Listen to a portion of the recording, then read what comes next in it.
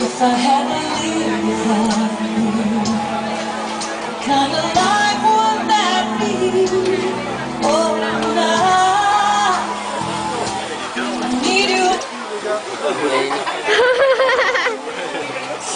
awesome.